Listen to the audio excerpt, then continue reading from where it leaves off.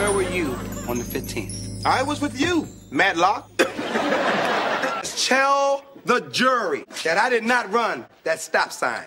Look, I, I don't I don't know what you were doing. I was looking for a number in my address book. You have an address book? May I see it? Yeah, please. We, we, we're pressed for time. Exhibit A. Ah, let's see what you got in.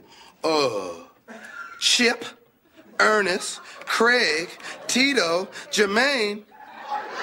Got a lot of brothers up in your book, Tommy.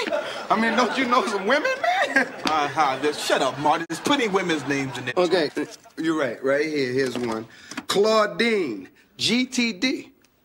What does GTD stand for? Uh, uh, Tommy, I've asked a question. What does GTD stand for? I answered your question. Got it? Man, you are in a court of law. There are a lot of people in here. Your Honor, you're gonna have to make them speak up. What does GTD stand for? Got the draws, okay? Got the draws.